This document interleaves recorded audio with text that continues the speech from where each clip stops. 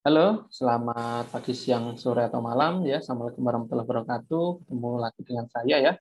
Eh, baiklah, pada pertemuan hari ini eh, saya akan menyampaikan eh, materi untuk mata kuliah mekanisasi budidaya tanaman perkebunan. Ya. Adapun untuk materi yang akan saya sampaikan di sini adalah tentang aspek mekanisasi pada budidaya tanaman kakao ya atau coklat. Ya. Oke, saya izin share screen terlebih dahulu. Oke ya, ini tentang uh, tanaman uh, kakao.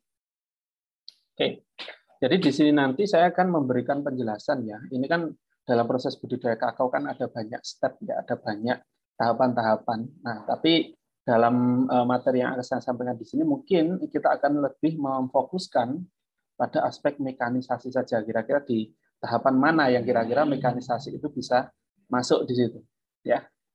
Oke, ini adalah uh, pohon kakao. Ada yang belum pernah lihat pohon kakao ya, jadi seperti ini, ini ini kakao ya. Jadi pohonnya seperti ini, ini buahnya.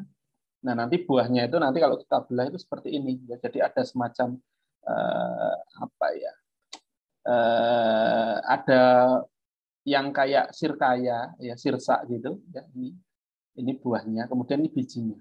Nah ini ini buahnya ini manis ya yang putih-putih ini manis ya, agak asam dikit. Tapi kalau udah matang dia agak manis itu kayak buah sirsa. Kemudian yang dimanfaatkan adalah bijinya ya, biji kakao ini nanti eh, biasanya kita proses, kita olah menjadi bubuk kakao dan eh, menjadi coklat yang biasa kita eh, konsumsi ya. Oke, jadi kakao itu adalah salah satu komoditas perdagangan ya yang sangat penting juga dan Eh, Indonesia juga merupakan salah satu produsen kakao terbesar juga, ya. salah satu, tapi bukan yang paling gede. Nah, kemudian eh, tanaman kakao di Indonesia ini memang sebagian besar eh, diusahakan oleh para petani dalam bentuk perkebunan rakyat, walau banyak juga yang memang sudah masuk PTPN, ya. Ada banyak di Jember, di Blitar, Kediri itu ada PTPN eh, eh, yang mengolah atau mengelola kebun kakao ya. Dan tanaman kakao ini dapat berbunga dan berbuah sepanjang tahun ya. Jadi ini bisa nih eh, bisa dijadikan penghasilan harian bahkan mingguan atau bulanan karena dia tidak tergantung musim dan bisa terus-menerus berbuah. Nah, ini kelebihan kakao di sini. Ya, kayak mirip-mirip kayak pepaya, kopi seperti itu. Oke, Kemudian kakao memang uh, masih mirip-mirip dengan kopi ya dalam artian dia uh, cocoknya memang di negara tropis ya di iklim tropis ya. Jadi kalau kita lihat di sini peta persebaran dari uh, negara penghasil kakao ya memang di daerah tropis katulistiwa ya. Indonesia, Papua New Guinea ya, kemudian India, kemudian ada di Afrika Tengah dan di Eh, Asia Selatan, eh, maaf Amerika Selatan sama Amerika Tengah. Jadi eh, di sini adalah negara penghasil kakao. Ya. Tapi uniknya yang mengherankan adalah bahwa coklat terenak itu coklat paling terkenal itu adalah coklat dari Belgia. Padahal Belgia itu letaknya kan di sini, dekatnya Belanda, nempel sama Belanda. Tapi justru dia adalah negara penghasil coklat produk coklat terbaik di dunia. Dan dia bukan produsen kakao. Nah, itu yang menjadi PR sebenarnya. Kenapa kok kita bisa kalah gitu? Padahal kita juga punya tanamannya, kemudian ahlinya banyak, tapi kenapa kita belum bisa menjadi produsen coklat terenak di dunia? Ya, itu yang menjadi masalah. Oke, kemudian kalau kita eh, apa kita eh, lihat peta persebarannya ya, kalau kita klasifikasikan dari yang terbesar, nomor satu itu adalah eh, d'Ivoire ya atau Pantai Gading ya. Pantai Gading itu negaranya eh, Didier Drogba kalau tahu. Ya Didier Drogba, Frank Casey ya itu adalah eh, pemain-pemain bola yang dari Pantai Gading ya. Kemudian yang kedua dari Ghana, ya memang di Afrika Tengah, ya, ya itu banyak sekali. Indonesia itu peringkat ketiga, ya negara penghasil kakao. Harusnya kita juga bangga karena kita juga termasuk yang terbesar. Cuma ini dari penghasil kakao, bukan produsen coklatnya yang sudah jadi. Ya, saya harapannya sih kita juga bisa menyusul itu ya Kemudian dari persyaratan tumbuh tanaman kakao, ya ini adalah uh, iklimnya. Memang uh, kakao ini relatif uh, toleran ya di berbagai ketinggian dan uh, curah hujan. Ini range-nya kalau kita lihat ini cukup lebar. Kita lihat di uh, tinggian tempat yaitu antara 0 sampai 600 uh, mdpl. Artinya ya di dataran tinggi bisa, dataran uh, maaf bukan dataran tinggi ya dataran menengah ya, menengah ke rendah. Jadi kalau tinggi di atas 600 mungkin eh, nggak cukup bagus ya. Itu areanya teh sama kopi mungkin ya. Tapi kalau yang 0 sama 600 ini kakao bisa. Sehingga eh, ini cocok juga dibudidayakan di Indonesia. Curah hujannya juga cukup eh, lebar juga ya, kisarannya antara 1.500 hingga 2.500. Um, suhu maksimum 30 hingga 32, minimum 18 hingga 21. Ya, dari sini memang eh, ini relatif ya di dataran eh, rendah sampai menengah ya. Kalau dataran tinggi kan suhunya sampai 14 gitu kan. Seperti itu. Kemudian tidak ada angin kencang terus-menerus ya kecepatan angin maksimum 4 meter Jadi ini persyaratan eh, untuk pertumbuhan kakao. Kemudian ini kemiringan tanahnya ya kurang dari 45 derajat, iyalah 45 derajat itu kan kemiringan 100%. Jadi eh, agak susah juga kalau kita harus menanam di kemiringan 100%. Jadi eh, akan lebih bagus jika lebih landai. Ya. Kedalaman tanah efektif eh, lebih dari 150 mili eh, senti. Tekstur tanahnya itu ya 50% pasir, ya 10 hingga 20% debu, 30 sampai 40% lempung atau lempung pasiran. Kemudian ini sifat eh, kimia tanahnya ya, nanti bisa di baca sendiri. Kemudian ini untuk yang persiapan lahan ya. Jadi kalau kita berbicara tentang budidaya kakao ya kita harus mulai dari persiapan lahan ya. Kalau persiapan lahan seperti ini apakah mekanisasi bisa masuk ya? Bisa asalkan ada akses jalan ya, ada akses jalan untuk mekanisasi masuk di sini. Karena yang dibutuhkan sebenarnya kalau di tanaman kakao adalah bukan eh, pengolahan tanah pertama ataupun kedua, karena yang kalau tanaman kakao, eh, asalkan lahannya sudah bersih seperti ini ya, yang pertama adalah kita membuat lubang. Ya, yang penting itu. Jadi mirip-mirip kayak eh, tanaman sawit. Ya. Jadi eh, kita buat ajiran dulu ya, ajir lubang tanam dengan ukuran sekian ya. Kemudian pembuatan lubang tanam ya, ukuran lubangnya 60 kali 60 kali 60 ya. Ini dari literatur dari buku budidaya kakao saya dapatan bahwa lubang ini dibuat enam bulan sebelum tanam. Jadi ya harapannya sih eh, setelah kita buat lubang nanti kita berikan eh, pupuk kandang atau pupuk hijau, kompos, bokasi atau sebagainya itu nanti akan membuat eh, bahan organik tanah di area tersebut itu optimum ya. Optimum kemudian sangat ideal untuk pertumbuhan tanaman kakao. Karena tanaman kakao ini kan sifatnya tahunan ya. Tidak ada yang cuma umurnya tiga tahun lima tahun pasti lebih dari 10 tahun. Sehingga untuk persiapan lahannya persiapan lubang tanamnya juga dimaksimalkan. Kemudian tutup lubang tanaman minimum tiga bulan sebelum tanaman kakao ya, dijaga agar batu-batu padas dan sisa-sisa akar tidak masuk ke dalam lubang tanam ya kemudian ini juga tanaman kakao itu memang eh, di awal tanamnya juga dibutuhkan eh, tanaman penaung ya atau butuh naungan di sini ya. Eh, seperti ini. Saya kira kalau untuk yang yang lain-lain saya kira sama lah ya, eh, memotong perdu, membersihkan gulma, saya kira itu hampir sama untuk semua eh, tanaman ya. Jadi kita harus bersihkan dulu sebelum ditanam. Oke, saya kira ini nggak perlu saya jelaskan detail ya terkait dengan pembukaan lahan dan lain sebagainya. Mungkin nanti kita bisa masuk eh, ke ini. Ya ini kan kayak pengendalian eh, secara terpadu, pengendalian gumat dan lain sebagainya itu kan saya kira ya ini ini kalau kita berbicara tentang pembukaan lahan ya, tapi saya kira kita tidak perlu sampai ke sini. Ya. Ini pembuatan rora, pembuatan teras ya dan sebagainya. Sebentar. Ya, ya ini memang kalau aurora teras itu memang eh, kita perlukan kalau memang lahannya itu miring ya. Dalam artian berada di kemiringan, tidak datar, sehingga untuk mencegah erosi makanya kita membuat yang namanya sistem rorak sama sistem teras seperti ini. Ya. Nah, ini memang diperlukan ya untuk mencegah erosi. Kalau lahannya itu miring. Jadi eh, dibuatlah seperti ini. Ya. Ya, tapi ini tidak akan saya jelaskan secara detail ya. Ini saya kira universal untuk semua, tidak harus kakao. Nah, kalau ditanya apakah di sini mekanisasi bisa masuk ya, ya bisa-bisa aja ya. Ada aksesnya atau tidak. Tapi kalau untuk uh, pembuatan uh, lubang rorak dan sebagainya memang uh, masih menggunakan tenaga manual ya. Ya, ini tumpang sari ya. Ya ini contoh-contoh saja ini pisang dengan kakao ya karena tadi disampaikan bahwa kakao itu bagusnya memang butuh naungan. Ya. Umumnya sih butuh naungan ya. Ini ada juga dengan apa ini kedelai mungkin ya. Kemudian ini kebutuhan benih per hektarnya ya. Sekitar eh, berapa ini?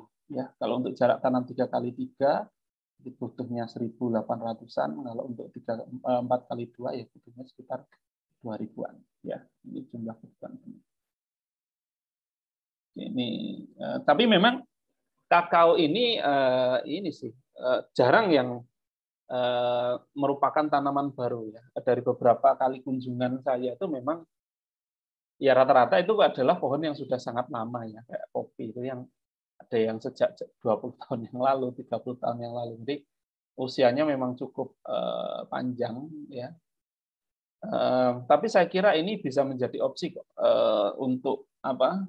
Untuk daerah-daerah yang memang uh, tidak apa?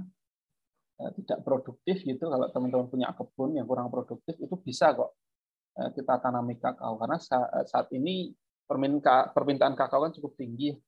Jadi uh, kalau teman-teman tahu kampung coklat di daerah saya di Blitar itu luar biasa. Jadi mereka tuh ngambil kakao itu tidak hanya dari eh, PTPN atau di punyanya kelompok tani di sekitar yang menanam kakao, tapi ternyata mereka juga sampai impor karena ternyata kebutuhan kakao itu juga tinggi dan kualitasnya memang masih belum bagus ya di kita.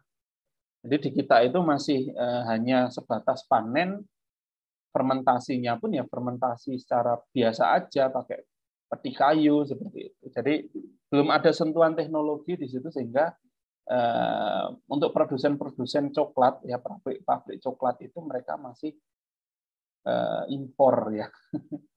Jadi Indonesia itu panen kakao, ekspor biji kakao ya. Kemudian biji kakao diproses di luar negeri, balik lagi jadi coklat kita yang beli. Sebenarnya kakao kita cuma prosesnya tuh di luar. Nah, itulah yang menyebabkan nilai tambahnya itu kita nggak dapat gitu loh. Padahal kalau untuk berbicara masalah bisnis, ya kalau bisa itu ya kita dari hulu ke hilir. Gitu. Ya, kita kuasai dari kita sudah punya pohonnya, kita kuasai teknik fermentasinya, kita kuasai cara pengolahannya sehingga nilai tambah masing-masing tahapan itu kita dapat di situ. Harusnya gitu ya. Sebenarnya kita nggak kekurangan ahli kok ya orang THP kan banyak ya masa nggak bisa untuk buat coklat berkualitas tinggi dari Eh, kakao kita gitu ya. Oke, ini eh, perkecambahan benih ya. Kemudian ini saya kira untuk eh, pendederan atau penyemaian saya kira sama aja lah dengan yang lain ya. Kemudian kalau sudah kita deder, kemudian kita masukkan ke polybag seperti ini. Ya. Kemudian untuk fase pembibitan ya ini syarat lokasinya ya dekat dengan sumber air, tempat datar, terlindung dari angin kencang dan eh, penyiraman matahari langsung. Ya ini eh, kalau teman-teman ingin mengetahui ini eh, bisa langsung main-main ke Puslit Koka di Jember sana di atau di PTPN atau bisa main-main ke Kampung Coklat gitu ya. Itu juga ada bagaimana nanti diajari cara pembibitan kakao. Oke, Kemudian untuk pemeliharaan di sini ya eh, itu opsional ya. Ini ada penyiraman dilakukan tiap hari ya, tergantung kondisi cuaca juga. Kalau hujan ya nggak usah tiap hari. Kemudian eh, pemupukan itu bisa dua minggu sekali ya, pengendalian hama. Nah itu pengendalian hama saya kira mirip-mirip dengan tanaman kopi ya, pasti ada lalat buah seperti itu, klaper, kepik, ulat dan lain sebagainya ya. Penyakitnya saya kira juga sama. Eh, cuma di sini kita bisa masuk mekanisasi di sini. Jadi tahapan mekanisasi yang bisa kita gunakan bisa di tahapan pemupukan maupun di pengendalian hama ya pengendalian hama ya kita bisa menggunakan sprayer tergantung dengan uh, luas lahan kalau luas banget gitu ya ya kita bisa menggunakan power spray, uh, power sprayer yang uh, besar ya seperti itu. Sehingga uh, di sini aspek mekanisasi bisa masuk kalau di sini. Kemudian ini adalah uh, kriteria bibit siap dipindah ya. Seperti ini. Umurnya sekitar 3 eh, sampai 5 bulan ya Nah, ini ya, ini saya dapat dari buku ya. Nah, ini contoh-contoh ya. Kemudian untuk penanaman ya, eh, itu juga harus diperhatikan eh, naungannya juga ya. Oke. Nah, ini yang penting. Ini yang mungkin akan sedikit Eh, saya bahas cukup banyak yaitu tentang pembuatan lubang. Ya, jadi kalau di tanaman kakao, kopi, saya kira ini juga bisa menjadi aspek mekanisasi yang cukup menonjol yaitu pembuatan lubang tanah ya. Yaitu menggunakan auger ya. Nah, kenapa bisa auger ini kita bisa manfaatkan dari putaran PTO-nya traktor. Jadi uh, ada di lab daya dan mesin pertanian kalau teman-teman ingin tahu auger ya. Jadi auger itu kan penggali ya. Nah, jadi penggali bentuknya kayak seperti ini spiral bor gitu ya. Yang nanti putarannya bisa kita manfaatkan dari putaran PTO ya. Kalau uh, searah jarum jam putarannya berarti nanti dia gali ya. Kalau kita mau nyabut ya berarti tinggal putarannya dibalik. Nanti akan nyabut ya seperti itu. Nah, saya kira ini aspek mekanisasi yang cukup menonjol di eh, budidaya tanaman kakao. Kalau untuk pemeliharaan saya kira eh, sama aja ya, mirip dengan pemeliharaan tanaman pada umumnya ya. Yang pasti ada penyulaman, ada penyangan gulma ya. Penyulaman itu kan kita laksanakan kalau memang ada bibit yang mati atau mungkin dia tidak ada potensi untuk bisa bagus pertumbuhannya ya kita sulam, kita ganti dengan bibit yang baru.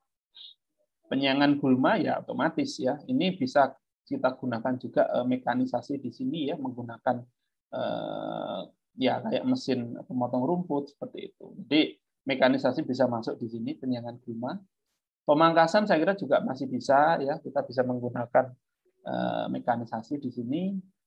Kemudian pemupukan juga bisa kita kalau mupuk sama seperti kayak tanaman kopi maupun tanaman kelapa sawit, ya itu bisa. Jadi kita bisa menggunakan mesin pembenam pupuk juga bisa. Penyiraman juga sama ya, kita bisa menggunakan aspek mekanisasi di sini, bisa menggunakan sprinkle maupun irigasi tetes ya untuk eh, beberapa eh, di perkebunan itu ada yang menggunakan sistem irigasi seperti itu. Kemudian untuk penyerbukan buatan ya, eh, penyerbukan buatan memang kadangkala proses penyerbukan atau pengawinan itu menggunakan bantuan manusia juga gitu ya untuk memastikan ya. Ya, seperti kayak buah melon gitu ya. Sistem polinasi atau penyerbukan itu kan kalau di dalam greenhouse itu kan harus menggunakan bantuan manusia ya karena tidak ada angin di situ. Nah, kalau di Eh, kakao itu juga kadang-kala butuh bantuan walaupun itu terletak di udara udara terbuka tapi paling tidak untuk lebih memastikan aja kayak sawit itu juga kadang-kadang butuh uh, penyerbukan buatan juga kemudian rehabilitasi dan pengendalian hama dan penyakit nah dari beberapa proses atau tahapan ini ya kita bisa tahulah ya tadi kira-kira aspek mekanisasi yang mana aja yang bisa masuk di sini Oke, ini tadi ya penyulaman, penyiangan gulma. Ya, saya kira nggak perlu saya eh, itu lagi. Nah, ini penyiangan gulmanya ya.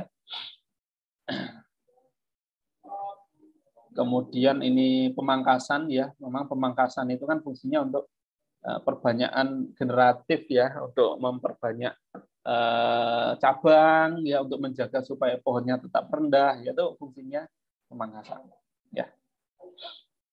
Nah ini ya contoh uh, alat pengemak, pemangkas di sini ya, gergaji atau mungkin gunting seperti ini ya, kalau masih kecil ya. Bisa ya Nah, ini contoh-contoh pemangkasan ya. Kemudian ini pemupukan ya. Eh, ini dosis pemupukannya ya. Ini eh, saya kira nanti bisa dibaca sendiri. Nah, ini ya eh, untuk pemupukan kita bisa menggunakan juringan seperti ini.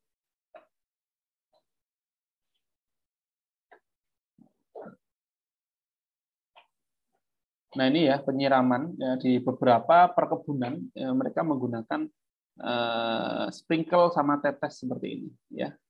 Jadi memang uh, kakao ini uh, juga suka air tapi juga nggak perlu suka-suka banget harus banyak Yang penting dia dapat uh, air lah gitu ya untuk uh, metabolismenya, untuk perkembangannya ya seperti ini ya. Kemudian untuk pengendalian hama dan penyakit ya biasanya ada penggerek cabang seperti ini ya. Nah ini ini sering sekali kita temui sehingga eh, dia pada saat nempel di buah pasti dia akan eh, membuat lubang di situ ya kemudian dia bisa bertelur di situ sehingga nanti bisa membuat buahnya itu busuk seperti ini. Nah di sini untuk penyemprotan insektisida, nah di sini mekanisasi bisa eh, masuk di sini ya bahkan ini menjadi salah satu perawatan yang eh, rutin saya kira ya,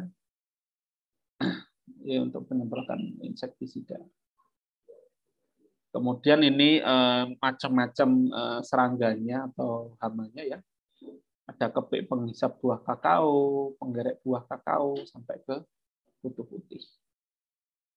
Ada juga ulat kantong, ulat jengkal ya seperti ini. Ya ini contoh-contoh ya hama-hama yang di tanaman kakao. Untuk penyakit ya ada busuk buah ya, kanker batang ya seperti ini. Jadi ini busuk batang ya, kanker batang, busuk buah. Jadi ini juga sering ya. Ini hampir mirip-mirip dengan tanaman kopi saya kira. Jadi eh, apa kalau terkena penyakit ya tanda-tandanya seperti ini. Ya. Ini kalau kita tidak tahu sendiri mungkin susah ya. Mungkin setelah perkuliahan ini nanti kalian bisa eh, main-main ke kebun kakao ya. Nah, ini untuk panen ya. Nah, untuk panen memang eh, mekanisasi mungkin belum bisa masuk di sini ya. Mungkin hanya sebatas alat bantu saja ya menggunakan gunting atau mungkin pisau atau kadang-kadang cukup kita puntir saja ya. Seperti ini. Jadi tandanya kalau sudah Eh, matang itu biasanya warnanya kuning gitu ya, ukurannya besar ya. Ada yang kuning, ada yang merah gitu ya. Seperti itu.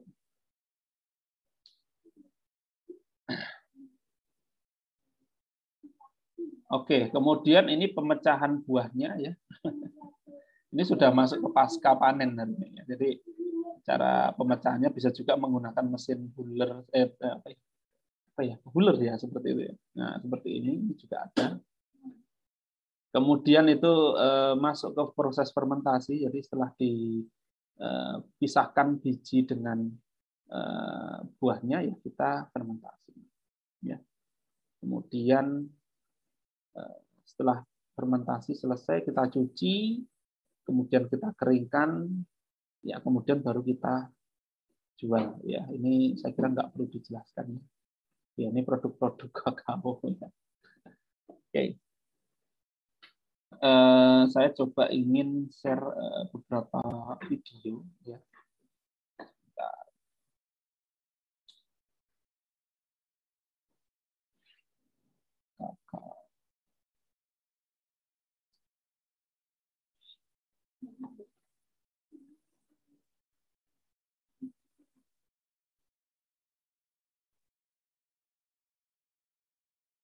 Oke, ini adalah mesin outdoor mesin yang digunakan untuk membuat lubang tangan.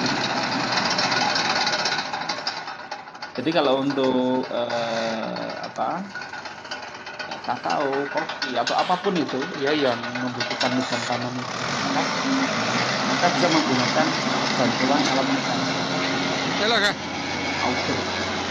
Lele kau tak kau tak kau tak kau tak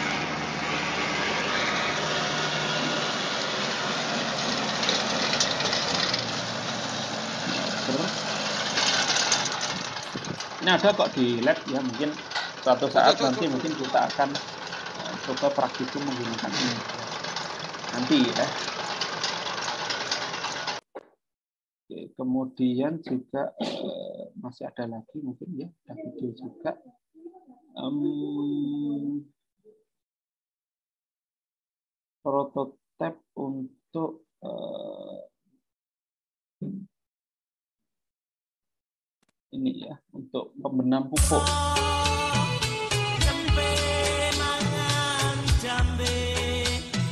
Diabaikan sama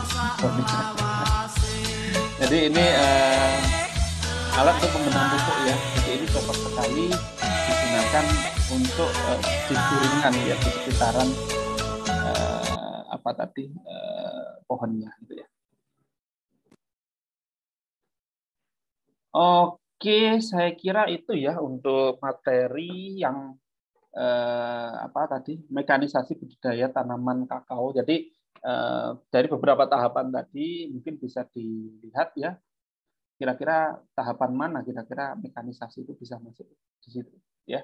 Jadi mungkin ada di pembuatan lubang tanam, berarti kan itu masuk penanaman, pemberantasan hama penyakit ya, pemupukan juga ya. Cuma eh, untuk panen mungkin belum bisa ya aspek mekanisasi mungkin masuk. Karena untuk panennya sendiri juga tidak susah saya kira. Eh, mungkin eh, lebih cocok untuk yang tahapan.